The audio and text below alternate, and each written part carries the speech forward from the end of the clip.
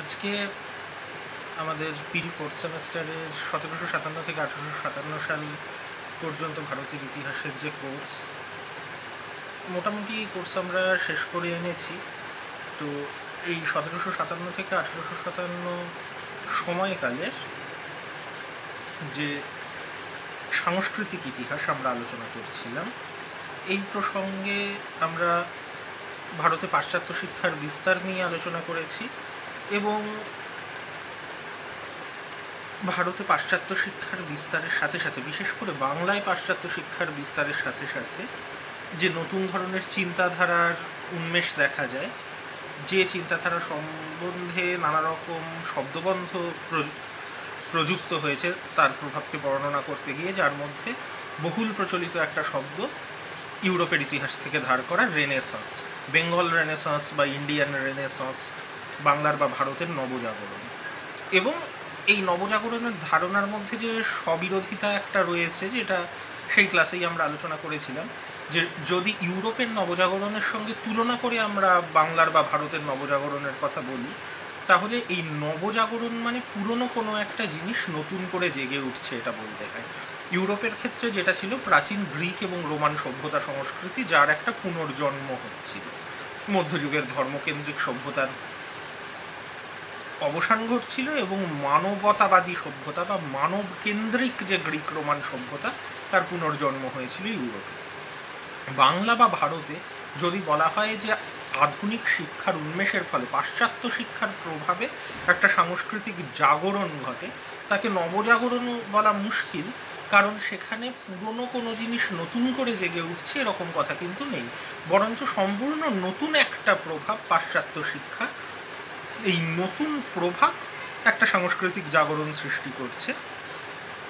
তাছাড়া অবশ্যই এই প্রভাব অত্যন্ত সীমিত একটা শ্রেণির মধ্যে। অন্যান্য যে সমস্ত সমালোচনা, সেগুলোর কথা সরিয়ে রাখলেও একেবারে শব্দতত্ত্বগত দিক থেকেই যদি বাংলার জাগরণ বলতে সরাসরি আধুনিক শিক্ষার প্রবর্তনের ফলে যে সাংস্কৃতিক জাগৃতি তাকে বোঝায়, তাহলে তাকে নবজাগরণ বলা মুশকিল।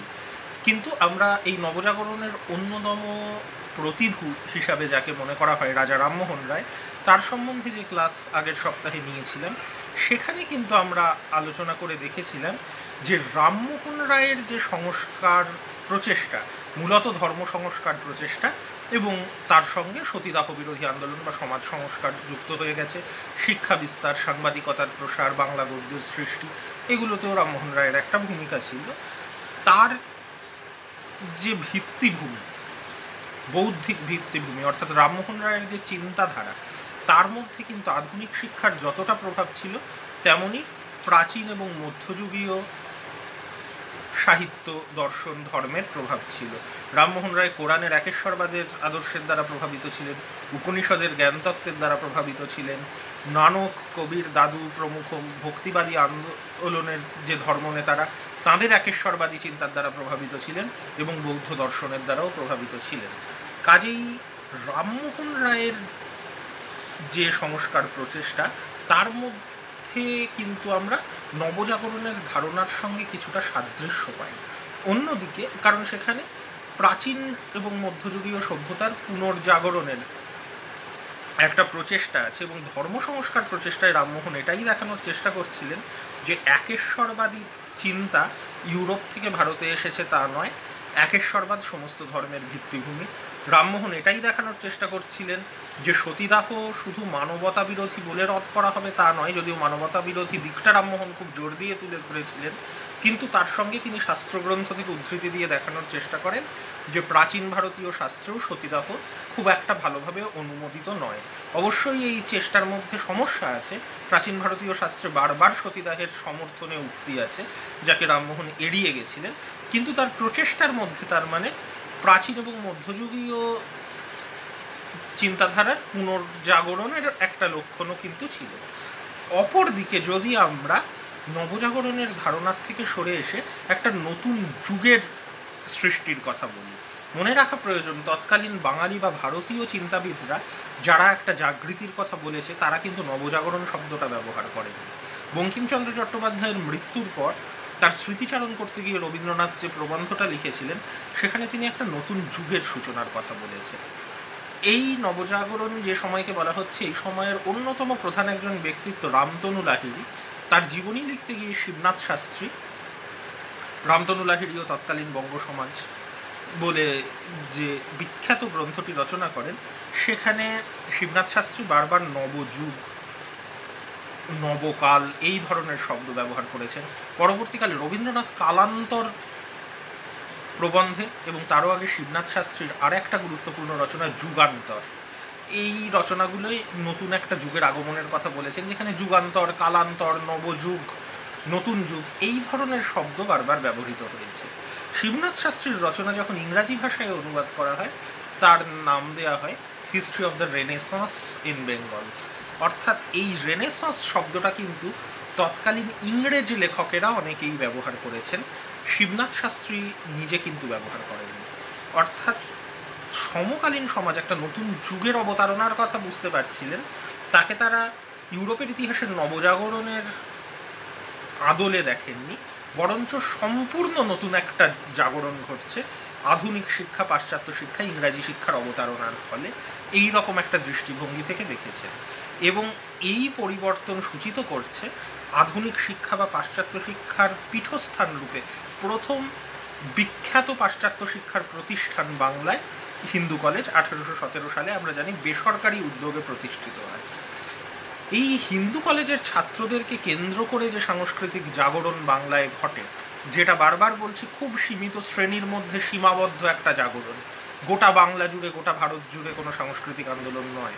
কারণ মূলত একটা মাত্র কলেজের থেকে যারা শিক্ষা গ্রহণ করে বেরিয়ে বিভিন্ন উচ্চ পদে নিযুক্ত হচ্ছেন, তাদের মধ্যে এই আন্দোলন সীমাবদ্ধ। কিন্তু অবশ্যই একটা নতুন চিন্তার, চেতনার উন্মেষ তাদের হাত ধরে ঘটেছে। এই সীমাবদ্ধ শ্রেণির ব্যাপারটা খুব গুরুত্বপূর্ণ আজকে আমাদের আলোচনার বিষয়ে। কেন? সে প্রসঙ্গে আমি পরে আবার আসব। কিন্তু এই যে একটা প্রতিষ্ঠানে নতুন ধরনের আধুনিক জ্ঞান চর্চা হচ্ছে অর্থাৎ জ্ঞান অন্বেষণের ক্ষেত্রে সমাজের বৃহত্তর অংশের থেকে একটা ছোট অংশ এগিয়ে থাকছে এবং তার ফলে তাদের যে চিন্তা বা চেতনা, তার সঙ্গে স্বাভাবিকভাবেই সমাজের বৃহত্তর অংশের চিন্তা ধারা খাপ খাচ্ছে না। এবং এই আন্দোলনে সব থেকে গুরুত্বপূর্ণ ভূমিকা নিচ্ছেন হিন্দু কলেজের একজন শিক্ষক, হেনরি লুইস ভিভিয়ান ডিরোজিও, যার সম্বন্ধে আমরা আজকে আলোচনা করব। কিন্তু মনে রাখার দরকার, ডিরোজিওর খুব ছোট একটি জীবন, সংক্ষিপ্ত জীবন অত্যন্ত অল্প বয়সে তিনি মারা গেলেন এবং হিন্দু কলেজে শিক্ষকতা করেছেন ডিরোজিও তিন বছরের সামান্য বেশি, উনিশশো আঠাশ থেকে উনিশশো একত্রিশ সাল পর্যন্ত। তো এই যে ডিরোজিওর খুব স্বল্প দৈর্ঘ্যের শিক্ষক জীবন এবং সামগ্রিকভাবে স্বল্প দৈর্ঘ্যের জীবন, তা সত্ত্বেও বাংলার সাংস্কৃতিক জাগরণের ইতিহাস আলোচনা করতে গিয়ে আমরা ডিরোজিওর কথা আলোচনা করছি। তার কারণ ডিরোজিওর প্রভাব কিন্তু শুধু ডিরোজিওর নিজের জীবনে সীমাবদ্ধ নয়। হিন্দু কলেজকে কেন্দ্র করে জ্ঞান চর্চার ক্ষেত্রে যে একটা নতুন দিগন্ত উন্মোচিত হয়, তার কারণ ডিরোজিওর শিক্ষার প্রভাব, যা তার ছাত্রদের মধ্যে, তার শিষ্যদের মধ্যেও প্রতিফলিত হয়েছে। কাজেই ডিরোজিওকে নিয়ে কোনো আলোচনা, শুধুমাত্র ডিরোজিওকে নিয়ে আলোচনা নয়, ডিরোজিওর যারা ছাত্র, ডিরোজিয়ান, যারা সাধারণত নব্যবঙ্গ বা ইয়াং বেঙ্গল নামে পরিচিত তাদেরকে নিয়েও আমাদের প্রসঙ্গ তো আলোচনা করতে হবে, কারণ তাদের মধ্যেই ডিরোজিওর চিন্তা, চেতনা, শিক্ষা কিন্তু একটা পরিপূর্ণতা লাভ করেছে।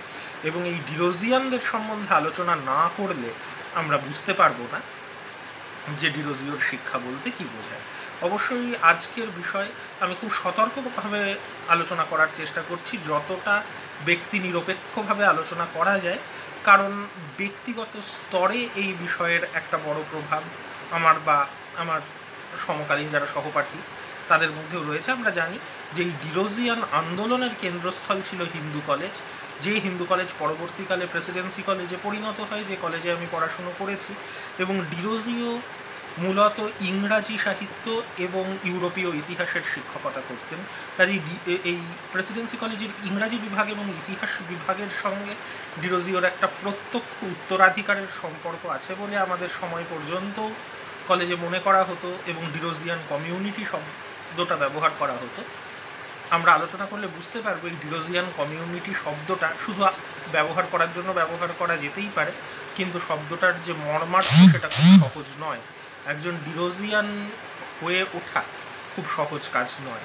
তো বর্তমানে অবশ্যই প্রেসিডেন্সি কলেজ বলে কোনো প্রতিষ্ঠানের অস্তিত্ব নেই, প্রেসিডেন্সি বিশ্ববিদ্যালয় বলে একটি প্রতিষ্ঠানের অস্তিত্ব রয়েছে এবং সেই প্রতিষ্ঠান নিজেকে ডিরোজিয়ান উত্তরাধিকারের অংশীদার মনে করে, কি করে না সে সম্বন্ধে আমি ভালোভাবে জানি না। আমি আমাদের সময় পর্যন্ত যেভাবে আমরা ডিরোজিওকে দেখে এসেছি সেই বিষয়েই জানি। কিন্তু সেটা একটা ব্যক্তিগত আবেগের কথা। সেখান থেকে যদি আমরা সরে আসি, দিয়ে ইতিহাসের পরিপ্রেক্ষিতে ডিরোজিওকে এবং তার ছাত্রদের দেখার চেষ্টা করি এবং ইতিহাসের একটা বড় বৈশিষ্ট্য অবশ্যই বর্তমানের সঙ্গে তার যোগাযোগ, শুধু অতীতের চর্চা নয়, কাজেই বর্তমান পরিপ্রেক্ষিতে আমরা ডিরোজিওকে আবার ফিরে দেখি। সেই চেষ্টা আজকের ক্লাসে আমি কিছুটা করব।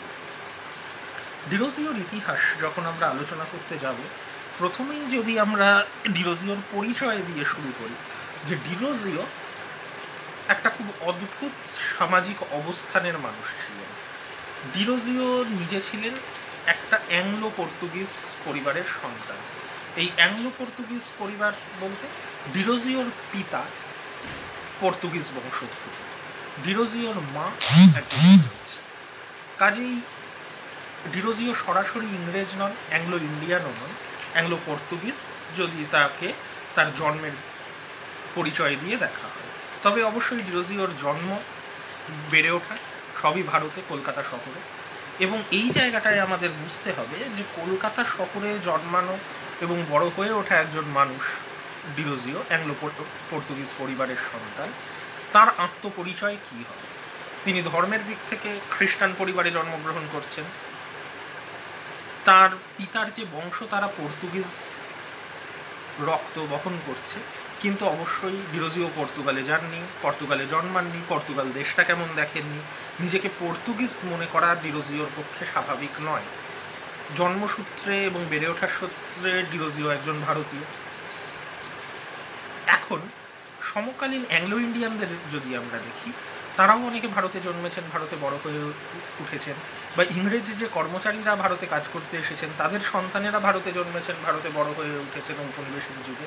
কিন্তু তারা নিজেদেরকে সর্বান্তকরণে ইংরেজ বলেই মনে করেছেন। তার অন্যতম কারণ হলো ইংরেজরা ভারতের শাসকের ভূমিকায় এসেছিলেন এবং অবশ্যই শাসক এবং শাসিতের মধ্যে একটা সামাজিক ব্যবধান ছিল। যদি আমরা ইংরেজ কবি রুডিয়ার্ড কিপলিংয়ের কথা ভাবি, কবি এবং সাহিত্যিক যিনি কিম, জাঙ্গল বুক প্রভৃতি বই রচনা করেছেন, নোবেল পুরস্কার পেয়েছেন কিপলিংয়ের জন্ম এবং বেড়ে ওঠার অনেকটা অংশ ভারতে। কিন্তু কিপলিং নিজেকে ভারতীয় বলে মনে করেননি। বরঞ্চ কিপলিং বারবার বলেছেন যে প্রাচ্য আর পাশ্চাত্যের মধ্যে একটা বিশাল ব্যবধান রয়েছে যা কখনো মেটানো নয়, ঔপনিবেশিক মানসিকতা। কিন্তু পর্তুগিজদের কথা যদি আমরা দেখি, তাদের পরিস্থিতি কিন্তু আলাদা। আমাদের মনে রাখা উচিত, ইউরোপীয়, আধুনিক ইউরোপীয় দেশগুলোর মধ্যে পর্তুগিজরাই সর্বপ্রথম ভারতে এসে পৌঁছয়। আমরা জানি ভাস্কোডাগামা পঞ্চদশ শতকের শেষে ভারতে এসে পৌঁছেছিলেন। এবং ষোড়শ শতকের গোড়াতেই কিন্তু গঙ্গা নদীতে পর্তুগিজ জাহাজ দেখা যায়। কাজে ইংরেজরা বাংলায় শাসন কায়েম করেছেন অষ্টাদশ শতকের দ্বিতীয়ার্ধে। এবং সপ্তদশ শতক থেকে ইংরেজদের গতিবিধি গুরুত্বপূর্ণ হয়ে উঠছে। তার অনেক আগের থেকে কিন্তু পর্তুগিজরা বাংলার প্রবেশ করেছেন, বাংলায় বসতি স্থাপন করেছেন।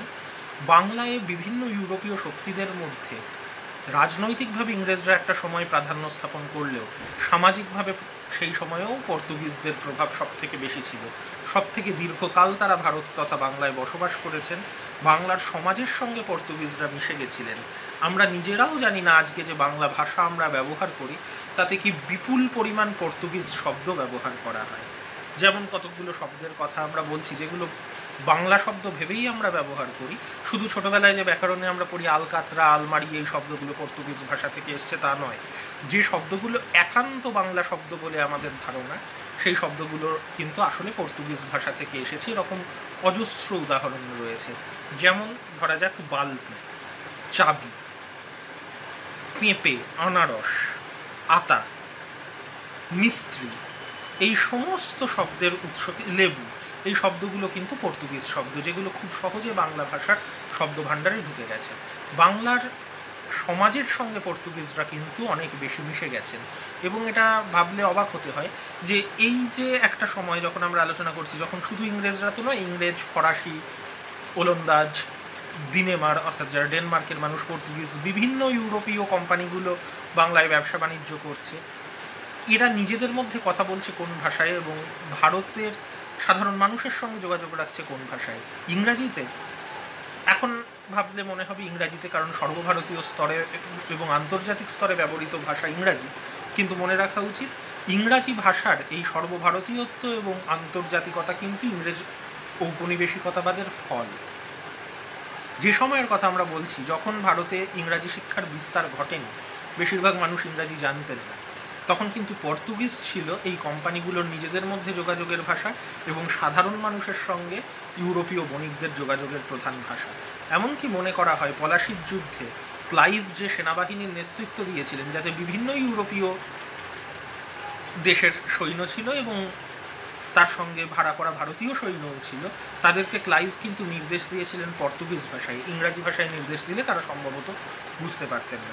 তো পর্তুগিজ ভাষার সংস্কৃতি, বাংলার সংস্কৃতির সঙ্গে এতটাই মিলেমিশে গিয়েছিল অষ্টাদশ ঊনবিংশ শতাব্দীর অনেক আগে, যার ফলে ডিরোজিও অ্যাংলো পর্তুগিজ বংশোদ্ভূত একজন মানুষ হিসেবে কখনোই কিন্তু নিজেকে ইংরেজদের মতো ভারতীয় সমাজ থেকে বিচ্ছিন্ন একজন মানুষ বা শাসক শ্রেণির একজন প্রতিনিধি বলে মনে করবেন না। আমরা জানি শাসক এবং শাসিতের মধ্যে একটা সামাজিক ব্যবধান এই সময় তৈরি হচ্ছিল।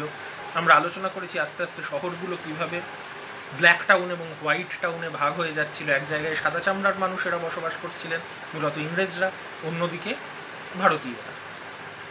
যে জায়গায় ডিরোজিওর বাড়ি, সেটাও কিন্তু কলকাতার এই দুটো অংশের মধ্যবর্তী একটা জায়গায়। যে জায়গাগুলোকে গ্রে টাউন বলে উল্লেখ করা হয়েছে, সার্কুলার রোডের যেখানে ডিরোজিওর বাসভবন ছিল। এই রকম একটা অ্যাংলো পর্তুগিজ পরিবারে ডিরোজিও জন্মেছেন। তার বাসস্থানের অবস্থানই অনেকটা ইংরেজদের বাসস্থান এবং ভারতীয়দের বাসস্থানের মধ্যবর্তী একটা এলাকায়।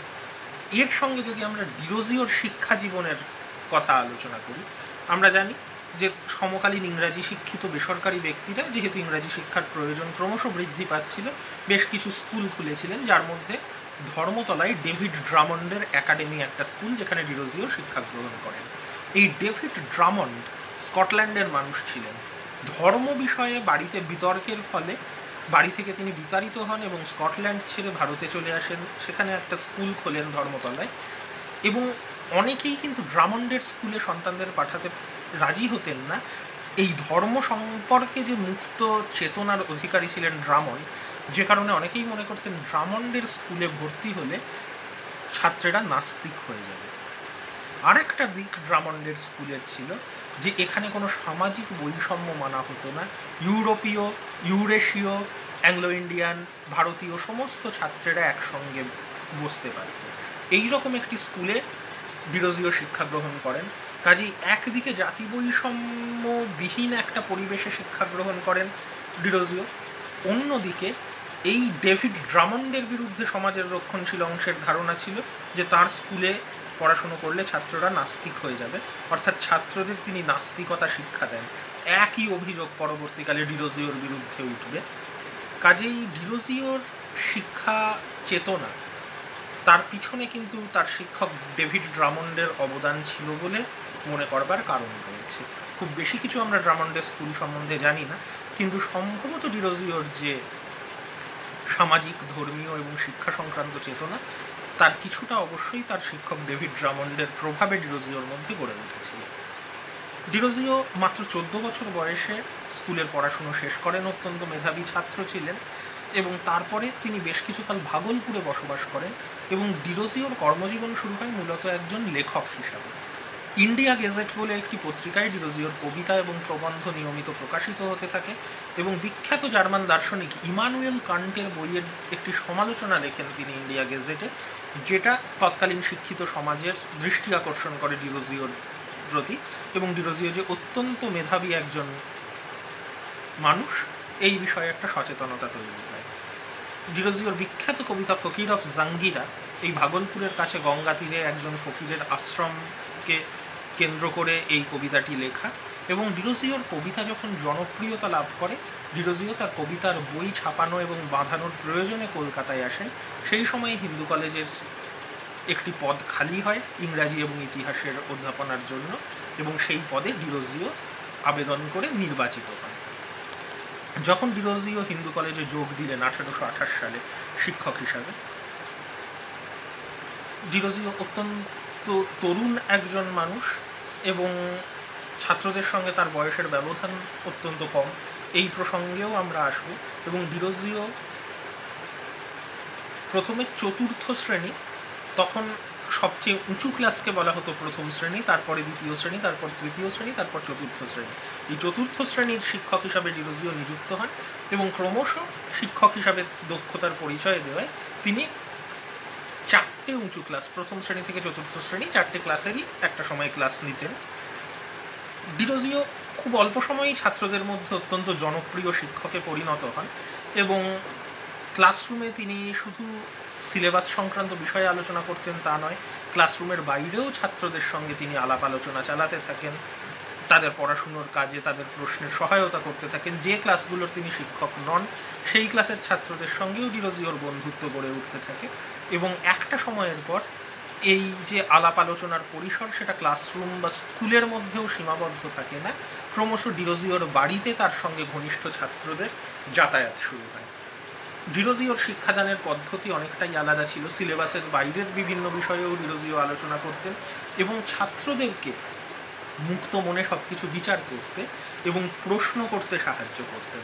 ডিরোজিওর শিক্ষাদানের অন্যতম পদ্ধতি ছিল বিতর্কমূলক পদ্ধতি। অর্থাৎ একটা বিষয়ে যে একাধিক মত থাকতে পারে এবং সেই বিতর্কের মাধ্যমে জ্ঞান চর্চার পরিসর আরও উন্নত হয়, এই বিষয়টা কিন্তু ডিরোজিও তুলে ধরেছিলেন ছাত্রদের কাছে। অনেক সময়ই একটা বিতর্কের বিষয় নিয়ে ডিরোজিও নিজে একটা পক্ষ অবলম্বন করে ছাত্রদের তার বিপরীত পক্ষে মত দিয়ে বিতর্ক করতে, উৎসাহ দান করতেন। এবং এই রকমভাবে বিতর্কের পরিসরে ডিরোজিওর ছাত্রদের মধ্যে যুক্তিবোধের বিকাশ ঘটে।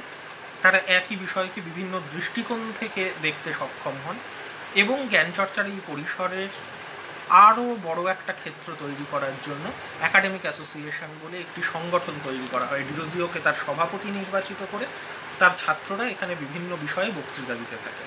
একাডেমিক অ্যাসোসিয়েশনের সভা শুধু হিন্দু কলেজে নয়, ডিরোজিওর বাসগৃহে অনেক সময়ই অনুষ্ঠিত হতো। অনেক সময় তার ছাত্রদের বাসগৃহে অনুষ্ঠিত হতো এবং এই সভায় শ্রোতাদের মধ্যে সমকালীন অন্যতম গুরুত্বপূর্ণ শিক্ষাবিদরা ছিলেন, যার মধ্যে ছিলেন David Hare. Edward Ryan, Kolkata হাইকোর্টের বিচারপতি, Lord William বেন্টিংকের private secretary colonel Benson, Bishop's কলেজের অধ্যক্ষ ডক্টর মিলস, এরকম সমকালীন বহু গুরুত্বপূর্ণ মানুষ এই একাডেমিক অ্যাসোসিয়েশনের সভাগুলোয় আসতেন এবং ছাত্রদের বক্তৃতাগুলো শুনতেন, তাদের বিভিন্ন বিষয়ে জ্ঞানে তারা যথেষ্ট মুগ্ধ হতেন। তার পাশাপাশি ডিরোজিও ছাত্রদের লেখালেখির অভ্যাস তৈরি করাতে শুরু করেন। ডিরোজিওর সম্পাদনায় এথেনিয়াম বলে একটি জার্নাল প্রকাশিত হয়। অন্যদিকে তার ছাত্রদের সম্পাদনায় পার্থেনন বলে একটি পত্রিকা প্রকাশিত হয়। এবং এই দুটি পত্রিকাতেই সমকালীন সমাজ এবং কুসংস্কারের কঠোর সমালোচনা করা হয় এবং বিশেষ করে নারী শিক্ষা এবং নারী স্বাধীনতার সপক্ষে বেশ কিছু বক্তব্য রাখা হয় যেটা রক্ষণশীল হিন্দু সমাজ পছন্দ করে। ফলে দুটো পত্রিকার প্রকাশই ক্রমশ বন্ধ করে দিতে হয়। পার্থেননের একটা ইস্যুর পড়ার সেকেন্ড ইস্যু বার করা যায়নি। এথেনিয়ামও আর প্রকাশিত হয়নি এবং রক্ষণশীল হিন্দু সমাজ ডিরোজিওর বিরুদ্ধে নানা ধরনের অভিযোগ আনতে শুরু করে। এই অভিযোগগুলির মধ্যে অন্যতম অভিযোগ ছিল যে ডিরোজিও তার ছাত্রদেরকে নাস্তিক হতে উৎসাহ দিচ্ছেন। এই অভিযোগ যখন হিন্দু কলেজের প্রিন্সিপালের কাছে যায় তিনি অত্যন্ত ক্রুদ্ধ হন। শোনা যায় তিনি ডিরোজিওকে মারতেও গেছিলেন এবং ক্রমশ নিয়ম করা হয় যে স্কুলের শিক্ষকেরা এই স্কুল বা কলেজ পরিসরে এবং বা তার বাইরে ধর্ম বিষয়ক কোনো আলোচনা ছাত্রদের সঙ্গে করবেন না এবং বাড়ি থেকে খাবার এনে এই হিন্দু কলেজের পরিসরের মধ্যে খাবার ভাগ করে খাবেন না। তো এই নিয়মগুলো মানা সত্ত্বেও ডিরোজিওর জনপ্রিয়তা ক্রমশ বাড়তে থাকে এবং ডিরোজিওর বাড়িতে এই সমস্ত আলাপ আলোচনা চলতে থাকে, যাতে অবশেষে ডিরোজিওর বিরুদ্ধে রামকমল সেনের নেতৃত্বে রক্ষণশীল হিন্দুরা একটা দাবিপত্র পেশ করেন এবং হিন্দু কলেজের বোর্ড ডিরোজিওর বিরুদ্ধে অভিযোগগুলোর বিচার শুরু করেন। যে বিষয়ে ডিরোজিওর বিরুদ্ধে অভিযোগ ছিল, ডিরোজিও নাস্তিকতার শিক্ষা দেন ছাত্রদের, ডিরোজিও ছাত্রদেরকে বাবা মায়ের অবাধ্য হতে শিক্ষা দেন এবং ডিরোজিও ভাই বোনের মধ্যে বিবাহ হওয়া উচিত এরকম মত প্রচার করেন। এই তিনটে অভিযোগ ছিল প্রধান। ডিরোজিও অবশ্যই এই অভিযোগগুলো অস্বীকার করেন এবং ডিরোজিও যে তার যে বক্তব্য তুলে ধরেন, তার মধ্যে এটাই বলা হয় যে ভাই বোনে বিবাহ হওয়া উচিত এরকম অদ্ভুত বক্তব্য ডিরোজিও কখনো রাখেননি। বাবা মার অবাধ্য হতেও ছাত্রদের তিনি শিক্ষা দেননি, কিন্তু সব কিছুকে যুক্তি দিয়ে বিচার করবার শিক্ষা দিয়েছিলেন এবং তৃতীয়ত ডিরোজিও দাবি করেন যে তিনি ছাত্রদের কখনো নাস্তিক হতে বলেননি, কিন্তু ঈশ্বরের অস্তিত্বের পক্ষে এবং বিপক্ষে যে বিভিন্ন যুক্তি আছে, সেই সব কিছুই তুলে ধরা একজন শিক্ষকের কাজ বলে তিনি মনে করেন। কারণ যে কোনো বিষয়ের বিতর্কের সবকটা পক্ষ জানা প্রয়োজন এবং বিশেষ করে তৎকালীন দার্শনিক হিউমের মতবাদ ডিরোজিও অত্যন্ত জনপ্রিয় করে তুলেছিলেন। তো এই ছিল ডিরোজিওর ডিফেন্স। ডেভিড হেয়ার এবং উইলসন হিন্দু কলেজের বোর্ডে ডিরোজিওর পক্ষ গ্রহণ করেন এবং হিন্দু সদস্যদের অনেকেই বুঝতে পারেন যে এই অভিযোগগুলো অতিরঞ্জিত এবং এই অভিযোগগুলোর ভিত্তি ছিল মূলত বৃন্দাবন ঘোষাল মানে নামক একজন গোড়া ব্রাহ্মণ যিনি সমাজের বিভিন্ন প্রচলিত গুজব সংগ্রহ করে এক বাড়ি থেকে আরেক বাড়িতে প্রচার করতেন। তার গুজবের ভিত্তিতেই ডিরোজিওর বিরুদ্ধে এই অভিযোগগুলো করা হয়। কাজেই এই অভিযোগগুলো কিন্তু প্রমাণিত হয়নি। তখন হিন্দু কলেজ দ্বিতীয় আরেকটি প্রস্তাবপত্র বিবেচনা করে যে সমকালীন সামাজিক পরিস্থিতিতে ডিরোজিওকে শিক্ষকতা করতে দেওয়া উচিত কিনা এবং সমকালীন দেশীয় সমাজ সম্পর্কে যেহেতু ডেভিড হেয়ার বা উইলসন ভারতীয় সমাজের বিষয়ে বিশেষজ্ঞ নন, ফলে তারা সেখানে মতামত দিতে পারেননি। এই পরিস্থিতিতে ডিরোজিও পদত্যাগ করেন। ডিরোজিও পদত্যাগ করার পর খুব বেশি দিন জীবিত ছিলেন না। কলেরা রোগে আক্রান্ত হয়ে ডিরোজিওর মৃত্যু হয়, তার ছাত্ররা তাকে বাঁচানোর প্রচুর চেষ্টা করেন, কিন্তু তারা সফল হননি। ডিরোজিও কলেজ থেকে পদচ্যুত হওয়ার পরও একটি সংবাদপত্র চালাতেন, যার নাম দ্য ইস্ট ইন্ডিয়ান। এছাড়া ক্যালাইডোস্কোপ বলে আরেকটি সংবাদপত্র ডিরোজিও সম্পাদনা করতেন। ডিরোজিও কলেজ থেকে পদচ্যুত হওয়ার পর এবং ডিরোজিওর মৃত্যুর পরও তিনি যেভাবে জ্ঞান চর্চার একটা ধারা উন্মুক্ত করেছিলেন, তা কিন্তু তার ছাত্রেরাও বজায় রেখেছিল এবং তারাও বিভিন্ন পত্রপত্রিকা প্রকাশিত করেন এবং বিভিন্ন সমিতি গড়ে তোলেন, যেমন এপিস্টোলারি অ্যাসোসিয়েশন তারা গড়ে তোলেন। পরস্পরের প্রতি চিঠিপত্র আদান প্রদান করা বা চিঠি লেখার অভ্যাস করে তোলার জন্য ডিরোজিওর ছাত্রেরাই পরবর্তীকালে society for the acquisition of general knowledge বলে জ্ঞান চর্চার একটি সংগঠন গড়ে তোলেন। তার ছাত্ররা বিভিন্ন পত্রিকা প্রকাশিত করেন, যার মধ্যে কৃষ্ণমোহন বন্দ্যোপাধ্যায় প্রকাশিত ইনকোয়ারের কথা বলা যায় পরবর্তীকালে বেঙ্গল স্পেকটেটার বলে একটি পত্রিকা ডিরোজিওর ছাত্রদের অন- মতবাদ প্রকাশের অন্যতম একটা অবলম্বন হয়ে ওঠে এবং আরও বেশ কিছু পত্রিকা প্রকাশিত হয় যেগুলোর প্রসঙ্গেও আমি আবার আসব। তো এই যে ডিরোজিওর জীবন সংক্রান্ত যে আলোচনা আমরা করলাম এবং দেখলাম ডিরোজিওর বিরুদ্ধে যে অভিযোগগুলো উঠেছিল, যেগুলোর ফলে ডিরোজিওকে পদচ্যুত হতে হয়, এই অভিযোগের মধ্যে কতটা সত্যতা ছিল? বা ডিরোজিও আসলে তার ছাত্রদেরকে কি শিখিয়েছিলেন? এই প্রসঙ্গে যদি আমরা দেখি ডিরোজিওর ছাত্রদের লেখা ডিরোজিওর সমস্ত প্রামাণ্য জীবনী, তাহলে আমরা দেখব ডিরোজিও এবং ডিরোজিয়ানদের জীবনে একটা শব্দের উপর বিশেষ করে গুরুত্বপূর্ণ, গুরুত্ব আরোপ করা হয়েছে, যেটা সম্ভবত ডিরোজিওর শিক্ষার মূল কথা ছিল, যে শব্দটা হলো ট্রুথ ট্রুথ অর্থাৎ সত্য। ডিরোজিও তার ছাত্রদের প্রথমত যে কোনো বিষয়কে একাধিক দৃষ্টিকোণ থেকে দেখতে, বিতর্কের মধ্যে দিয়ে দেখতে শিখিয়েছিলেন এবং যে আদর্শটার প্রতি ডিরোজিও একনিষ্ঠ থাকতে বলেছিলেন তার ছাত্রদের, সেই আদর্শ হচ্ছে সত্য। অবশ্যই সত্যকে কীভাবে দেখা হবে, কীভাবে ব্যাখ্যা করা হবে, এটা ডিরোজিও তার ছাত্রদের নিজস্ব যুক্তিবোধের উপরেই ছেড়েছিলেন। এবং ডিরোজিওর ছাত্ররা অনেক সময়ে যে সমকালীন হিন্দু সমাজের কুসংস্কারের বিরোধিতা করেছেন, সেটাও সম্ভবত এই সত্যের প্রতি দায়বদ্ধতা থেকেই। যেমন আমরা জানি রসিকৃষ্ণ মল্লিক ডিরোজিওর অন্যতম ছাত্র, যখন আদালতে সাক্ষ্যদান করতে যান, তখন একটা প্রচলিত প্রথা ছিল তামা, তুলসী এবং গঙ্গা জল স্পর্শ করে শপথ নিতে হতো হিন্দুদেরকে সাক্ষ্যদানের আগে। রসিকৃষ্ণ মল্লিক এটা করতে অস্বীকার করেন, কারণ তিনি বলেন যে গঙ্গার পবিত্রতায় তিনি বিশ্বাসী নন। এখানে কিন্তু হিন্দু সমাজকে আঘাত করার থেকেও গুরুত্বপূর্ণ ছিল সত্যের প্রতি রসিকৃষ্ণ মল্লিকের দায়বদ্ধতা। যেহেতু তিনি গঙ্গার পবিত্রতায় বিশ্বাসী নন, কাজেই গঙ্গাজল স্পর্শ করে শপথ করার যে কোনো অর্থ থাকে না, তার পক্ষে এই বিষয়টাই রসিকৃষ্ণ মল্লিক তুলে ধরতে চেয়েছিলেন।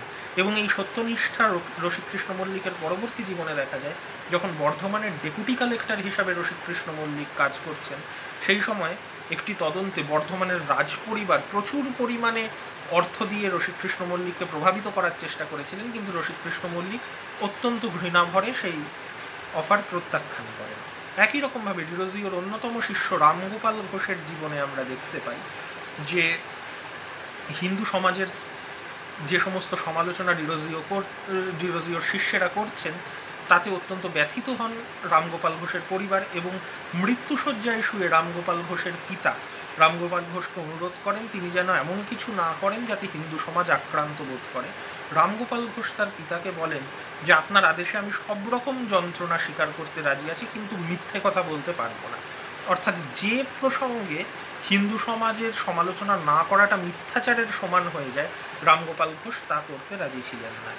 পরবর্তী জীবনেও আমরা দেখতে পাই, ব্যবসার ক্ষেত্রে রামগোপাল ঘোষ যখন অত্যন্ত সংকটে পড়েছেন এবং পাওনাদারেরা তার কাছে বারবার টাকা চাইছে, তখন তার বন্ধুরা রামগোপাল ঘোষকে পরামর্শ দেন, তার কিছু সম্পত্তি বেনামে, অন্য কারোর নামে হস্তান্তরিত করে দিতে, যাতে পাওনাদাররা তার উপর দাবি না করতে পারেন।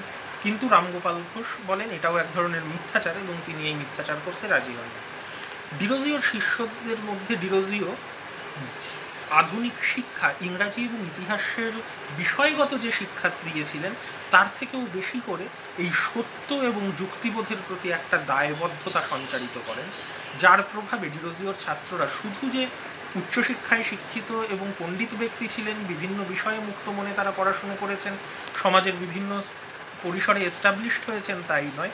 এই সত্যের প্রতি দায়বদ্ধতা এবং নিষ্ঠা কিন্তু তাদের প্রত্যেককে মুক্তমনা চিন্তাবিদে পরিণত করেছিল। যে পরিচয় আমরা ডিরোজিওর ছাত্রদের জীবনে পরবর্তীকালে দেখতে পাই। এবং এই মুক্তমনা দৃষ্টিভঙ্গি অবশ্যই সমকালীন রক্ষণশীল হিন্দু সমাজকে আক্রান্ত করেছিল। ডিরোজিওর কোনো কোনো ছাত্র অবশ্যই হিন্দু সমাজের প্রবল রক্ষণশীলতায় ব্যথিত হয়েছিলেন এবং হিন্দু সমাজের প্রতি তাদের ঘৃণার মনোভাবও প্রকাশিত হয়েছে। যেমন মাধবচন্দ্র মল্লিক সরাসরি বলেছিলেন যে, আমি যদি হৃদয়ের অন্তঃস্থল থেকে কোনো জিনিসকে ঘৃণা করি, সেটি হচ্ছে হিন্দু ধর্ম। এটা মাধবচন্দ্র মল্লিকের ব্যক্তিগত মতামত হিসাবেই গ্রহণ করা উচিত, কারণ ডিরোজিও নিজে কিন্তু হিন্দু ধর্মের প্রতি ঘৃণামূলক কোনো মতবাদ প্রচার করেননি, বা ডিরোজিওর সব ছাত্রেরা যে এই বিষয়ে একমত ছিলেন, সেটা কিন্তু নয়। কিন্তু ডিরোজিওর অনেক ছাত্রই হিন্দু সমাজের সংস্কার, বিশেষত হিন্দু সমাজের নারীদের উপর যে নির্যাতন, তার বিরোধী ছিলেন।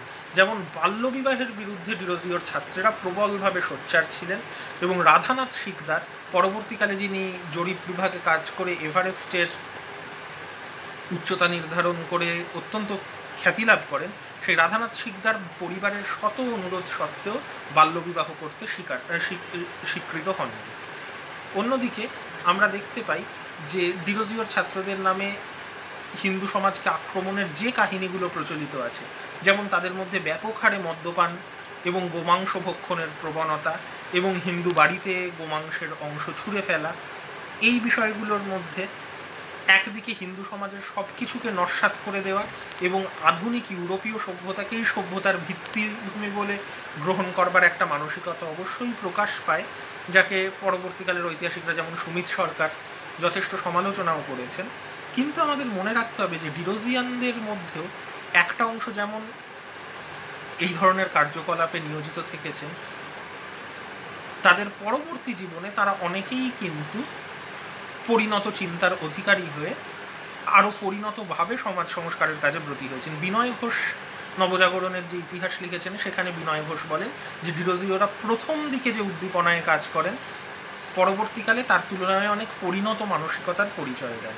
অন্যদিকে সুমিত সরকার আবার মনে করেন, প্রথম দিকের যে র্যাডিক্যাল চিন্তাভাবনা, পরের দিকে সেটা স্তিমিত হয়ে যায় এবং ডিরোজিয়ানরাও অনেকে অনেকটা রক্ষণশীল হয়ে পড়ে। কিন্তু প্রকৃতপক্ষে আমরা দেখতে পাই, যদি ডিরোজিওর ছাত্রদের জীবনী পর্যালোচনা করা হয় যে এই সত্য এবং যুক্তিবোধের প্রতি নিষ্ঠা থেকে কিন্তু তাদের অধিকাংশই সারা জীবনেই সরে আসেনি অবশ্যই প্রত্যেকে সত্য এবং যুক্তিবোধকে নিজের মতো করে ব্যাখ্যা করেছেন। তার ফলে ডিরোজিয়ের ছাত্রদের ধর্মীয় চিন্তাভাবনার মধ্যেও কিন্তু নানান বৈচিত্র্য দেখা গেছে। মাধবচন্দ্র মল্লিকের মতো কেউ কেউ অবশ্যই সম্পূর্ণভাবে হিন্দু সমাজের বিরোধিতা করেছেন। আবার অনেকে, যেমন মহেশচন্দ্র ঘোষ বা কৃষ্ণমোহন বন্দ্যোপাধ্যায়, এরা খ্রিস্ট ধর্ম গ্রহণ করেছেন। রামতনু লাহিড়ী বা শিবচন্দ্র দেবের মতো অনেকে ব্রাহ্ম ধর্ম গ্রহণ করেছেন এবং দক্ষিণারঞ্জন মুখোপাধ্যায় হিন্দু সমাজেরই অংশীভূত থেকে গেছেন। কেউ কেউ যেমন শিবচন্দ্র দেব তার শেষ জীবনে এবং প্যারিচাঁদ মিত্র তার শেষ জীবনে প্রেততত্ত্ব নিয়েও চর্চা করেছেন। কাজেই ডিরোজিওর শিষ্যরা সকলে নাস্তিক ছিলেন, এরম নয়। ডিরোজিও নিজেও বলেছিলেন যে তিনি নাস্তিকতা প্রচার করেননি। তিনি ঈশ্বরের অস্তিত্বের পক্ষে এবং বিপক্ষে যুক্তিগুলো বিচার করে দেখতে বলেছেন। ফলে ডিরোজিওর শিষ্যদের মধ্যে হিন্দু ধর্মে বিশ্বাসী, ব্রাহ্ম ধর্মে বিশ্বাসী, খ্রিস্ট ধর্মে বিশ্বাসী এবং নাস্তিক সব, এমনকি প্রেততত্ত্বে বিশ্বাসী মানুষদেরও দেখা যায়। পরবর্তীকালে প্যারিচাঁদ মিত্র থিওজফিক্যাল সোসাইটিও জয়েন করেন। কাজেই বিভিন্ন ধর্মীয় মতবাদের অবস্থান কিন্তু ডিরোজিওর শিষ্যদের মধ্যে দেখা গেছে। তেমনি হিন্দু সমাজের প্রতি কেউ কেউ অত্যন্ত বিরূপ মনোভাব পোষণ করেছেন, কেউ কেউ আবার অনেকটা বাধ্য হয়ে হিন্দু সমাজ পরিত্যাগ করেছেন। যেমন কৃষ্ণমোহন বন্দ্যোপাধ্যায়, একটা অত্যন্ত রক্ষণশীল হিন্দু পরিবারের সন্তান, ব্রাহ্মণ সন্তান এবং কৃষ্ণমোহন বন্দ্যোপাধ্যায়ের বাড়িতে প্রায়ই ডিরোজিওর ছাত্রদের বিভিন্ন অধিবেশন বসত, যেখানে তারা রুটি এবং নিষিদ্ধ মাংস ভক্ষণ করতেন। তাতে সমস্যা ছিল না। কিন্তু একদিন কৃষ্ণমোহন বন্দ্যোপাধ্যায়ের অনুপস্থিতিতে তার বন্ধুরা তার বাড়িতে এসে শুধু রুটি এবং গোমাংস ভক্ষণ করেন তাই নয়, গোমাংসের হাড় বিভিন্ন হিন্দু বাড়িতে ছুঁড়ে ফেলে সেগুলো গরুর হাড় বলে চেঁচাতে থাকেন। যার ফলে গোটা এলাকায় কৃষ্ণমোহনের বিরুদ্ধে একটা মতবাদ সৃষ্টি হয় এবং কৃষ্ণমোহনকে তার বাড়ি থেকে বিতাড়িত করা হয়। কৃষ্ণমোহন প্রথমে বন্ধু দক্ষিণারঞ্জন মুখোপাধ্যায়ের বাড়িতে আশ্রয় নেন। এবং পরে মহেশচন্দ্র ঘোষ খ্রিস্ট ধর্ম গ্রহণ করলে তার অনুকরণে কৃষ্ণমোহন বন্দ্যোপাধ্যায়ও খ্রিস্ট ধর্ম গ্রহণ করেন। পরবর্তীকালে খ্রিস্ট ধর্মের অন্যতম প্রধান আচার্য রেভারেন্ডে পরিণত হন এবং কৃষ্ণমোহন বন্দ্যোপাধ্যায় তৎকালীন বহু বিখ্যাত মানুষকে খ্রিস্ট ধর্মে দীক্ষিত করেন, যার মধ্যে প্রসন্ন কুমার ঠাকুরের পরিবারের সদস্য জ্ঞানেন্দ্র ঠাকুর রয়েছেন কৃষ্ণমোহনের নিজের ভাই কালীমোহন রয়েছেন, এরকম অনেকেই কৃষ্ণমোহন খ্রিস্ট ধর্মে দীক্ষিত করে। তো খ্রিস্ট ধর্মে যে ধর্মান্তরিতকরণ কৃষ্ণমোহনে, সেটা কিন্তু পুরোটা তার স্বেচ্ছায় নয়, পরিবার থেকে বিতাড়িত হওয়ার ফলে। কিন্তু বিতাড়িত হওয়ার আগেও কৃষ্ণমোহনের মধ্যে মুক্ত চিন্তা ছিল।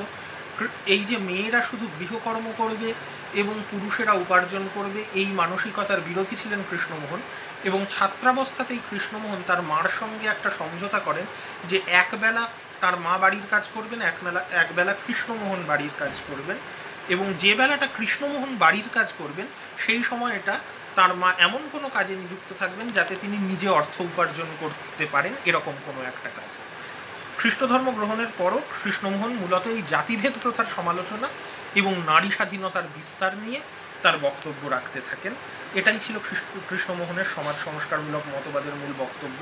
হিন্দু ধর্মের কুসংস্কারের সমালোচনা করলেও কৃষ্ণমোহনের কিন্তু হিন্দু ধর্মের বিরুদ্ধে বিরূপ মনোভাব ছিল না, বরঞ্চ হিন্দু ধর্মের ষড়দর্শনের উপর কৃষ্ণমোহন গুরুত্বপূর্ণ গবেষণা করেন, সর্বার্থ সংগ্রহ বলে একটি গ্রন্থ প্রকাশ করেন প্রাচীন সংস্কৃত সাহিত্যের ভিত্তিতে এবং পরবর্তীকালে কলকাতা বিশ্ববিদ্যালয়ে তাকে ডক্টরেট উপাধি দেয়।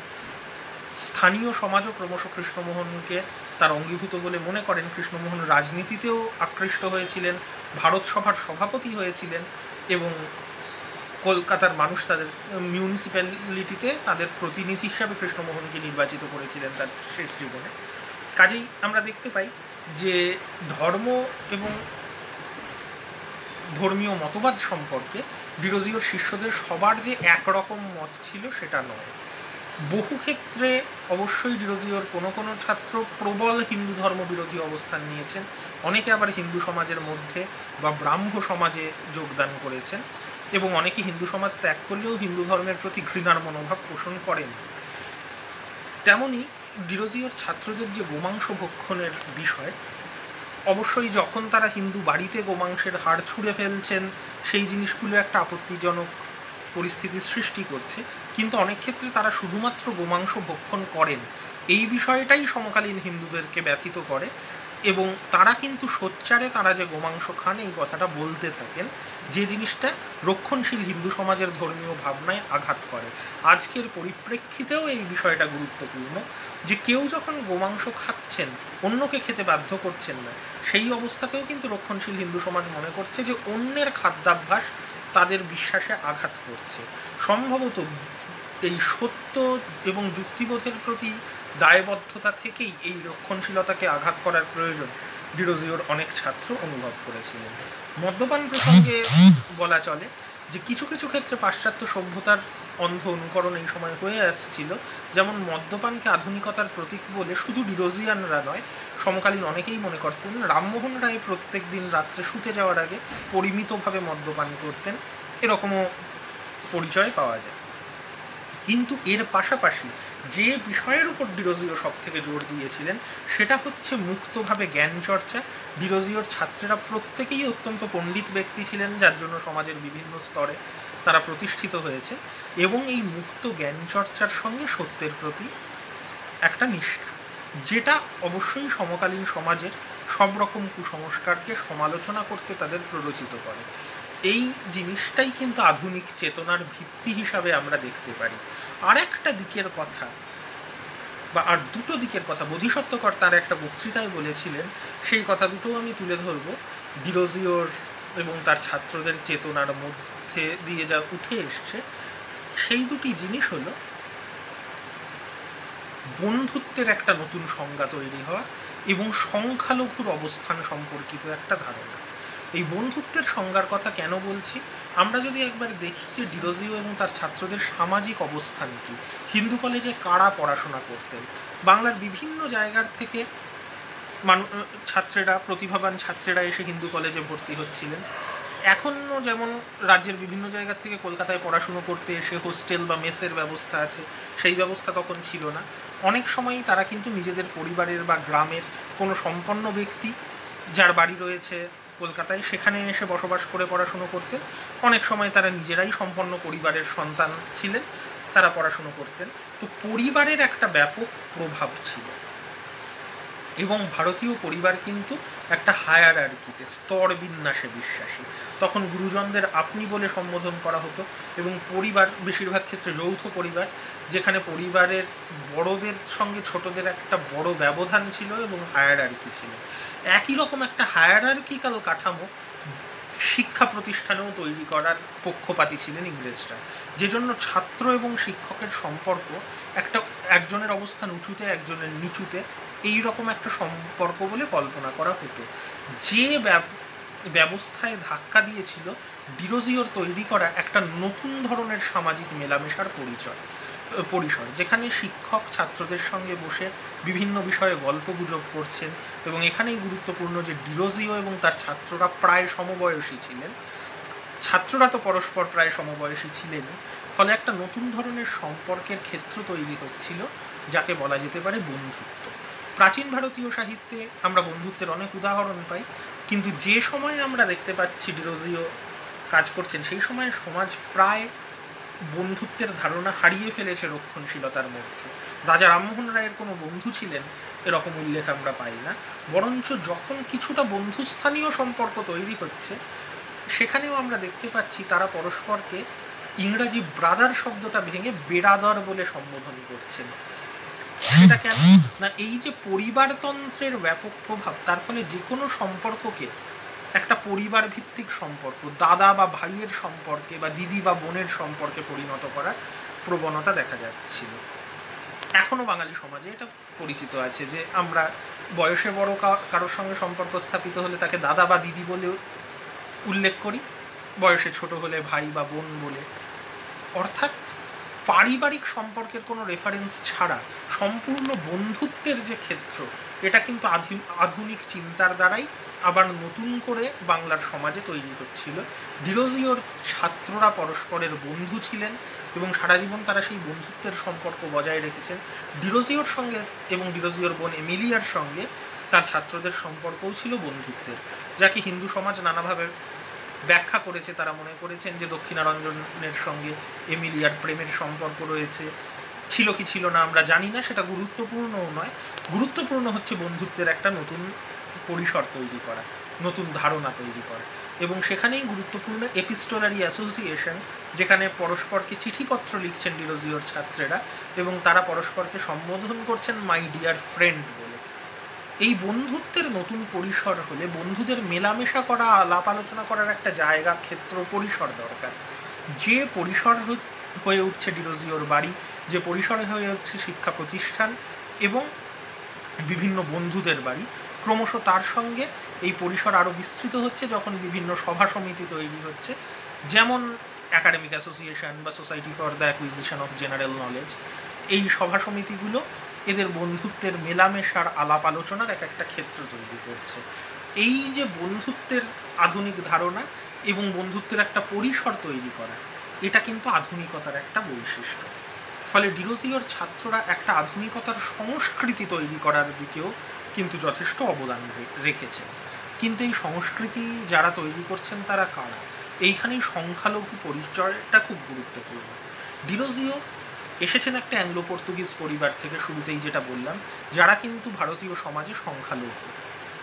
অবশ্যই ইংরেজরাও সংখ্যালঘু, কিন্তু ইংরেজরা শাসক। শাসন ক্ষমতা রয়েছে তাদের হাতে। ফলে ইংরেজদের সংখ্যালঘুত্ব তাদেরকে কিন্তু প্রান্তিক মানুষে পরিণত করতে পারে না। কিন্তু ডিরোজিও এমন একটা সামাজিক অবস্থান থেকে এসেছেন, যেখানে ইংরেজদের দৃষ্টিকোণ থেকেও তিনি প্রান্তিক, ভারতীয় সমাজের দিক থেকেও সংখ্যালঘু এবং প্রান্তিক। অবশ্যই ডিরোজিওর এই পরিচয় তার বিরুদ্ধে যে ষড়যন্ত্রগুলো তৈরি হয়, তাকে সফল করে তুলতে অনেক সাহায্য করেছে। রক্ষণশীল হিন্দু সমাজ রামমোহন রায়কেও আক্রমণ করেছে ডিরোজিওকেও আক্রমণ করেছে। ডিরোজিওকে পদচ্যুত হতে হয়েছে। রামমোহন রায় কিন্তু ইংল্যান্ডে গিয়ে নিজের সতীদাহের বিরুদ্ধে বক্তব্য রেখে সাফল্য লাভ করেছেন।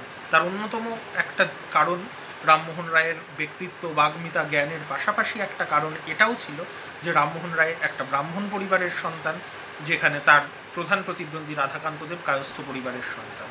সেখানে ডিরোজিওর প্রান্তিক সামাজিক অবস্থান অবশ্যই ডিরোজিওকে একজন নাস্তিক, হিন্দু ধর্ম বিরোধী মানুষ হিসাবে তুলে ধরতে সাহায্য করেছিল রক্ষণশীল সমাজকে। কিন্তু ডিরোজিওকে বোধিসত্ত্বকর শুধু তার জাতিগত পরিচয়ের জন্য সংখ্যালঘু বলে উল্লেখ করেননি বোধিসত্ত্বকর যে কথাটা তুলে ধরেছিলেন, সেটা হচ্ছে আধুনিক মনস্ক মানুষেরাও সেই সমাজে সংখ্যালঘু। এই যে বাংলার সাংস্কৃতিক জাগৃতি একটা ছোট শ্রেণির মধ্যে সীমাবদ্ধ ছিল, উচ্চশিক্ষায় শিক্ষিত মুক্তমনা উদার মানুষ, যুক্তিবোধ এবং সত্যের আদর্শে বিশ্বাসী মানুষ, তারা সমাজে সংখ্যালঘু। রক্ষণশীল মানুষের সংখ্যা সমাজে অনেক বেশি। কাজেই ডিরোজিওর ছাত্রেরা যতই বড় বড় পরিবার থেকে তারা আসুন উঁচু উঁচু পদে নিযুক্ত সমাজে কিন্তু তাদের চিন্তা ভাবনা খুব অল্প সংখ্যক মানুষের চিন্তা ভাবনা সংখ্যালঘুর চিন্তা ভাবনা এবং এই সংকট আধুনিকতাকে বা যুক্তিবাদকে বা মুক্তমনা মানুষকে বারবার সমস্যায় ফেলে। কারণ হয়তো উন্নত চেতনার অধিকারী মানুষ সমাজে সংখ্যালঘু এখনও আমরা দেখতে পাই যে সমস্যায় ডিরোজিও এবং তার ছাত্রেরা পড়েছিলেন সেই একই সমস্যায় পড়তে হয়। বর্তমানেও বহু শিক্ষা প্রতিষ্ঠানের মুক্তমনা শিক্ষক এবং ছাত্রদের। সেই সমস্যা কি? না, একদিকে মুক্তমনা শিক্ষা প্রতিষ্ঠান হয়েও ওঠা উচিত, মুক্তমনা জ্ঞান চর্চার ক্ষেত্র, যেখানে সমস্ত কিছুকে প্রশ্ন করা যায়, সমস্ত কিছুকে বিচার করা যায় যুক্তিবাদের মাধ্যমে। কিন্তু এই মুক্ত জ্ঞান চর্চার পরিসর কিন্তু একটা সংখ্যালঘুর পরিসর। সমাজের অধিকাংশ মানুষ এবং তাদের রক্ষণশীলতা আঘাতপ্রাপ্ত হয় যুক্তিবাদী জ্ঞান চর্চার দ্বারা। তাই সাম্প্রতিককালে, অতি সাম্প্রতিককালে আমরা দেখেছি যে এই জাতি ব্যবস্থা ভিত্তিক কাস্ট সিস্টেম প্রথিত রয়েছে এমন সমাজে। একজন মুক্তমনা চিন্তার অধিকারী দলিত ছাত্র আত্মহত্যা করতে বাধ্য হচ্ছেন সামাজিক প্রেশারে এবং তার বিরুদ্ধে বিভিন্ন শিক্ষা প্রতিষ্ঠানে যে আন্দোলন তৈরি হচ্ছে, তা কিন্তু বৃহত্তর জনসমাজের সমর্থন পাচ্ছে না। দেশের সর্বশ্রেষ্ঠ বিশ্ববিদ্যালয়গুলিতে যখন সরকারের বিরুদ্ধে সমালোচনা করা হচ্ছে, তাকে রাষ্ট্রদ্রোহিতা বলে মনে করছে সমাজের বেশিরভাগ অংশ। এবং এই শিক্ষা প্রতিষ্ঠানগুলোর সমালোচনায় যে ভাষা ব্যবহার করা হচ্ছে, ঠিক যে ভাষায় ডিরোজিও এবং তার ছাত্রদের সমালোচনা করা হয়েছিল, যে সমাজের বৃহত্তর অংশের ধর্মীয় চেতনায় আঘাত করা হচ্ছে, সেই একই অভিযোগ আমরা দেখেছি জওহরলাল নেহেরু বিশ্ববিদ্যালয়ের ছাত্রদের উপর। একই ধরনের অভিযোগ আসছে। তাদের জীবনযাত্রা যে সমাজের অধিকাংশ মানুষের মনোপুত নয়, অভিপ্রেত নয় এই অভিযোগ বারবার উঠে আসছে। এই জন্যেই বলেছিলাম যে ডিরোজিয়ান মানসিকতা, কথা মুখে বলা সহজ, কিন্তু ডিরোজিয়ান মানসিকতা খুব সহজ কাজ নয়, যেখানে সত্য এবং যুক্তিবোধের প্রতি সম্পূর্ণ দায়বদ্ধ থাকা প্রয়োজন এবং জ্ঞান চর্চার ক্ষেত্রে যুক্তিকে সর্বোচ্চ স্থানে প্রতিষ্ঠা করা প্রয়োজন। এই মুক্ত যুক্তিবাদী জ্ঞান চর্চার পরিসর কিন্তু চিরকাল সমাজে সংখ্যালঘুর পরিসর, চিরকাল রক্ষণশীল সমাজের থেকে সেই পরিসরের উপর আঘাত আসবে। কিন্তু তার মধ্যেই এই মুক্তমনা জ্ঞান চর্চার পরিসরকে বাঁচিয়ে রাখবার যে লড়াই, সেটা কিন্তু সংখ্যালঘুর লড়াই এবং সেই লড়াই ডিরোজিও এবং তার ছাত্রদের লড়াই, সেই লড়াইয়ের উত্তরাধিকার এখনও বহু শিক্ষা প্রতিষ্ঠান বহন করছে এবং যে যন্ত্রণার মধ্যে দিয়ে ডিরোজিও এবং তার ছাত্রদের যেতে হয়েছে, ডিরোজিওর জীবন থেকে আমরা যে পরিচয় পেয়েছি, কৃষ্ণমোহন বন্দ্যোপাধ্যায়ের লেখা পার্সিকিউটেডে যে সামাজিক আক্রমণের পরিচয় আমরা পেয়েছি। আজকের দিনের মুক্তমোনা শিক্ষক এবং ছাত্ররাও আমাদের দেশে কিন্তু সেই একই অভিযোগে অভিযুক্ত হচ্ছেন। সর্বশেষ যে বিষয়টা নিয়ে আমি আলোচনা করব, সেই বিষয়টি হচ্ছে আরেকটা অভিযোগ। আজকের ছাত্র আন্দোলনের পরিপ্রেক্ষিত যখনই উঠল আর একটা অভিযোগ আজকের দিনেও এই শিক্ষা প্রতিষ্ঠানের মুক্তমনা ছাত্রদের বিরুদ্ধে তোলা হয়, যে যেহেতু তারা যুক্তিবাদের পক্ষে কথা বলছেন, সরকারের সমালোচনা করছেন, তাহলে কি তারা দেশদ্রোহিতা করছেন? তারা কি যথেষ্ট পরিমাণে জাতীয়তাবাদী নয়? একই অভিযোগ ডিরোজিও এবং তার ছাত্রদের নিয়ে ঐতিহাসিক পরিসরেও রয়েছে। যে তারা যে হিন্দু সমাজের সমালোচনা করছেন, সমসাময়িক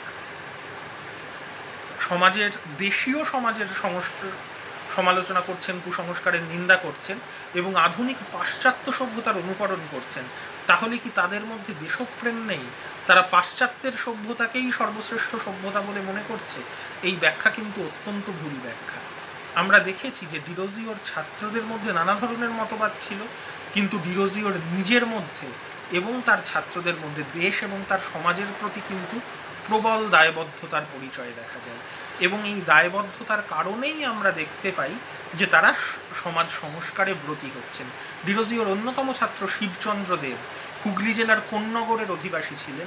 তিনি নিজস্ব অর্থ ব্যয় করে কোন্নগরের রেল স্টেশন, পোস্ট অফিস স্থাপন করা থেকে শুরু করে প্রাথমিক শিক্ষার বিস্তার, নারী শিক্ষার বিস্তার প্রভৃতি কাজে অত্যন্ত গুরুত্বপূর্ণ ভূমিকা নিয়েছেন। দেশীয় সমাজের উন্নতিতে ডিরোজিওর ছাত্ররা কিন্তু বরাবর ব্রতী ছিলেন।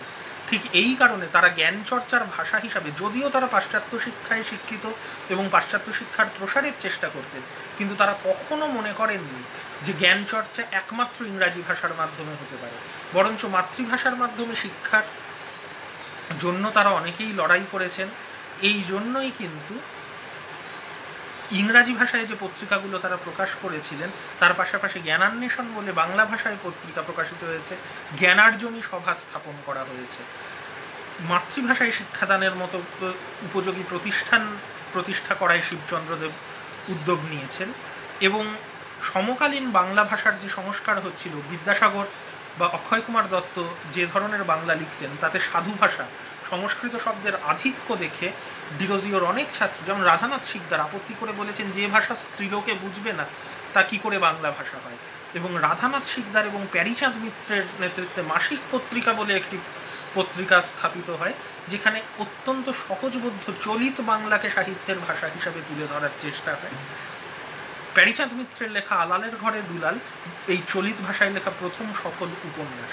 কাজেই ডিরোজিওর ছাত্রেরা কিন্তু দেশের সমাজের সংস্কার, দেশের শিক্ষার প্রসার, দেশীয় ভাষার প্রসারে অত্যন্ত উৎসাহী ছিলেন। ডিরোজিও, যে কথা দিয়ে শুরু করেছিলাম ডিরোজিওর পরিবারের কথা বলতে, যে ইংরেজরা যেখানে নিজেদেরকে শাসক বলে মনে করত এবং শাসিতের সঙ্গে সামাজিক ব্যবধানে বিশ্বাসী ছিল, কিপলিংয়ের লেখার থেকে আমরা যা দেখতে পাই, পর্তুগিজরা কিন্তু তা নয়, তারা কিন্তু ভারত এবং বাংলার সমাজের সঙ্গে অঙ্গাঙ্গিভাবে মিশে গেছিলেন। ডিরোজিও পরিষ্কারভাবে বলেছিলেন I am born in India, have been bred there. I am proud to acknowledge my country and to do the best of my ability in her services. আমি ভারতে জন্মেছি সেখানে বড় হয়েছি এবং আমি আমার দেশের পরিচয় দিতে গর্বিত এবং দেশের জন্য যতটা করতে পারি সেটা করতে পেরে গর্বিত ডিরোজিও সম্পূর্ণভাবে নিজেকে ভারতীয় বলে মনে করতেন এবং ভারতীয়ত্বের চেতনায় ডিরোজিও উদ্বুদ্ধ ছিলেন। যার জন্য ফকির অফ জাঙ্গিরা কবিতায় আমরা দেখতে পাচ্ছি একজন দেশীয় ফকিরকে কেন্দ্র করে ডিরোজিও তার কাব্য নির্মাণ করছেন। তার শুরুতেই ভারতকে তিনি মাই কান্ট্রি বলে উল্লেখ করছেন এবং এই কবিতার ছত্রে ছত্রে ডিরোজিওর দেশপ্রেমের পরিচয় পাওয়া যায়। যেখানে ভারত যে এক সময়ের একটি গৌরবশালী সভ্যতা এবং ভারতের সেই গৌরব আবার ডিরোজিও পুনরুদ্ধার করতে চাইছেন ডিরোজিওর এই দেশপ্রেম খুব একটা গুরুত্ব পায়নি সমকালীন সমাজে, কারণ ডিরোজিও জাতিগতভাবে এবং চিন্তাগতভাবে সংখ্যালঘু। কিন্তু ডিরোজিওর রচনায় কিন্তু তার দেশপ্রেমের প্রবল পরিচয় পাওয়া যায়। এই দেশপ্রেম কিন্তু তার ছাত্রদের মধ্যেও সঞ্চারিত হয়েছিল, যার জন্য আমরা দেখতে পেয়েছি শিবচন্দ্র দেবের যে সমাজ সংস্কারমূলক কাজ, তার উদ্যোগ, যার জন্য আমরা দেখতে পেয়েছি নারী শিক্ষার বিস্তার এবং নারী সমাজের উন্নতিতে কৃষ্ণমোহন বন্দ্যোপাধ্যায়ের উদ্যোগ। যে দেশপ্রেমের দ্বারা উদ্বুদ্ধ হয়েই কিন্তু রাধানাথ শিকদার বা রসিকৃষ্ণ মল্লিকের মতো মানুষরা সমাজ সংস্কারে ব্রতী হয়েছিলেন। এবং কৃষ্ণমোহন বন্দ্যোপাধ্যায় বা রামগোপাল ঘোষেরা রাজনীতিতেও যোগদান করেন। কারও কারও মনে হতে পারে যে বহু ক্ষেত্রে রাজনীতিতে এরা ইংরেজ শাসন সমর্থন করেছেন। আঠেরোশো সাতান্নর বিদ্রোহের সময় ভারতীয়দের সমর্থন করেননি। রামগোপাল ঘোষ দীর্ঘদিন ইংরেজ শাসনের অনুগামী ছিলেন, অনুরাগী ছিলেন। কিন্তু একটা সময়ের পর রামগোপাল ঘোষ ব্রিটিশ ইন্ডিয়া সোসাইটির প্রতিষ্ঠাতাদের মধ্যে অন্যতম গুরুত্বপূর্ণ। কিন্তু সেই রামগোপাল ঘোষ যখন দেখেন যে বিচার বিভাগের ক্ষেত্রে ভারতীয়দের, ইংরেজদের আর ভারতীয়দের এক জায়গায় আনার বিরুদ্ধে বেসরকারি ইংরেজরা প্রতিবাদ করছেন, তখন কিন্তু রামগোপাল ঘোষ ব্যাপকভাবে ভারতীয়দের পক্ষ নিয়ে রচনা, বিভিন্ন লেখালেখি শুরু করেন, যার জন্য ইংরেজ পরিচালিত বিভিন্ন সভা সমিতি থেকে রামগোপাল ঘোষের পদের অবনতি ঘটানো হয়। একই রকমভাবে আমরা দেখতে পাই, খ্রিস্ট ধর্ম গ্রহণ করেও কৃষ্ণমোহন বন্দ্যোপাধ্যায় তার হিন্দু প্রেমিকাকে বিবাহ করেন এবং দেশীয় সমাজের সংস্কার যে ধর্মীয় মতবাদ নিরপেক্ষভাবে হওয়া উচিত, কৃষ্ণমোহন তাতে বিশ্বাসী ছিলেন। কৃষ্ণমোহন সেই কারণে খ্রিস্টান হয়েও কিন্তু প্রাচীন ভারতীয় দর্শন গ্রন্থ, ব্রাহ্মণ্য দর্শন গ্রন্থ নিয়ে চর্চা করেন। বিধবা বিবাহ আইন পাশ হওয়ার আগেই দক্ষিণারঞ্জন মুখোপাধ্যায় একজন বিধবাকে বিবাহ করেন এবং তার স্ত্রীকে নিজের স্ত্রী হিসাবে স্বীকৃতি দেন। এবং ইংরেজরাও ভালোভাবে বুঝতে পেরেছিলেন যে যে মুক্তমনা যুক্তিবাদী দৃষ্টিভঙ্গি থেকে ডিরোজিও এবং তার ছাত্রেরা সমকালীন হিন্দু কুসংস্কারের সমালোচনা করছেন, একই যুক্তিবাদ অনুসরণ করে তারা কিন্তু সমকালীন ইংরেজ দৃষ্টিভঙ্গি অনুসরণ করে তারা কিন্তু ইংরেজ শাসনেরও সমালোচনা করতে পারেন, যার পরিচয়ও আমরা পেয়েছি পরবর্তীকালে। যখন দেখেছি এই society for the acquisition of general নলেজের সভায় একটি প্রবন্ধে দক্ষিণারঞ্জন ব্রিটিশদের বিচার বিভাগ এবং প্রশাসনে ভারতীয়দের বঞ্চিত করার কঠোর সমালোচনা করেছেন, যা দেখে তৎকালীন অধ্যক্ষ হিন্দু কলেজের রিচার্ডসন রাষ্ট্রদ্রোহিতামূলক কার্যকলাপ বলে এই ধরনের প্রবন্ধ পাঠ বন্ধ করার চেষ্টা করেছেন কিন্তু ডিরোজিয়ানরা তাতে রাজি হননি। যার জন্য রিচার্ডসন নির্দেশ জারি করেন যে হিন্দু কলেজে এবং সংস্কৃত কলেজে, কাজেই যে প্রতিষ্ঠানের তোমরা ছাত্র ছাত্রী সেই প্রতিষ্ঠানের ইতিহাসের সঙ্গে জড়িত। হিন্দু কলেজ এবং সংস্কৃত কলেজে যেন এই society for the acquisition of general নলেজের কোনো অধিবেশন না হয়, কারণ সেখানে সরকার বিরোধী রাষ্ট্রবিরোধী মতবাদ আলোচিত হতে পারে। কাজেই ডিরোজিয়ানদের যে রাজনৈতিক দৃষ্টিভঙ্গি, যুক্তিবাদী সত্যনিষ্ঠ দৃষ্টিভঙ্গি, সেটা যে অনেক ক্ষেত্রে সমকালীন ব্রিটিশ সরকারের যে শোষণমূলক নীতি, তারও সমালোচনায় পরিণত হবে, সেটাও কিন্তু ইংরেজরা অনেকেই বুঝতে পেরেছিলেন এবং ক্রমশ তার লক্ষণও দেখা যাচ্ছিল। কাজেই সামগ্রিকভাবে আমরা বলতে পারি, অবশ্যই ডিরোজিয়ান আন্দোলন একটা সীমিত পরিসরের আন্দোলন ছিল, সীমাবদ্ধ ছিল। গোটা সমাজকে সেটা প্রভাবিত করতে পারেনি। এবং অত্যন্ত আধুনিকতাপন্থী যে নীতি ডিরোজিয়ানদের, তার ফলে সমাজের রক্ষণশীল অংশের থেকে তা বিচ্ছিন্ন হয়ে যায়। ফলত ডিরোজিওয়ের এবং তার ছাত্রদের যে আন্দোলন, সেটা আধুনিকতাবাদী আন্দোলন হলেও সংখ্যালঘুর আন্দোলন এবং অনেক ক্ষেত্রে সংখ্যাগরিষ্ঠের রক্ষণশীলতায় সেই আন্দোলন আঘাত দেয়। কিন্তু ভারতে জ্ঞান চর্চার, যুক্তিবাদী মুক্ত শিক্ষা প্রতিষ্ঠানের ধারণা প্রতিষ্ঠার ইতিহাস লিখতে গেলে ডিরোজিও এবং তার ছাত্রদের অবদানের অবদানের কথা আমাদের স্মরণ করতেই হবে।